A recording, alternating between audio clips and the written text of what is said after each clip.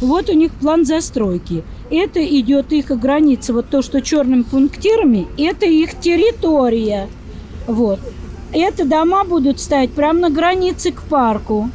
А вот эта страна, где касаясь сейчас мы стоим, дорожка, но они почему-то же, видите, красные, зашли на территорию парка. Вот здесь муниципальная земля – они перешли границы красных линий. На самом деле, те самые красные линии застройщик уже переходил 10 лет назад, но тогда народного гнева ему удалось избежать. В этот раз с категоричным «нет» согласны практически все жильцы округи. Вот на этом небольшом пятачке, всего 45,5 соток, как рассчитывают строители, разместятся два жилых дома. Местные уже успели обозвать их небоскребами, каждым больше 20 этажей. И эти две многоэтажки, и теннисный корт, и спортплощадку, и детскую площадку, Северная компания намерена разместить на 45 сотках земли, причем безапелляционно. Как можно устроить, благоустроить придомовую территорию и поставить два дома на такой маленькой площадке. И теперь под видом благоустройства парка, как бы он обещал властям нашим,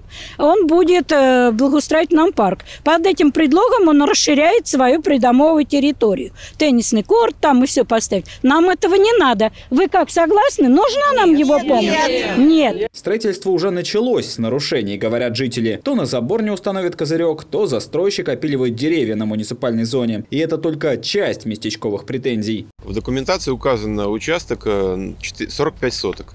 Э, при данном строительстве 442 квартиры, они во много раз превышают э, такой параметр, как плотность застройки. Местные жители предполагают, что спортплощадки на придомовой территории попросту не поместятся, а значит, их, похоже, построят прямо в Комсомольском парке, на зеленой зоне, которую жители отстаивали уже не раз. Да и плюс ко всему, новый жилой комплекс Тринити, так застройщик назвал два дома и территорию вокруг, строит на месте бывшей крупной парковки. Пока была стоянка, у нас дворы достаточно были свободны.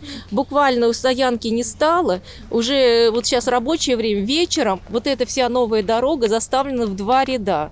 Заставлены все дворы. Сейчас жители буквально дерутся за парковочные места. Особо наглые оставляют записки под дворниками соседей. Даже шины пару раз прокалывали. А когда два новых дома построят, мол, парковочные войны только усилятся, ведь это прибавит как минимум 300 новых автомобилей, которые ставить точно некуда. Мы вот когда просчитали, что будет 440 42 квартиры, а теперь умножьте это на детей, и что у нас получается? Картина неприглядная.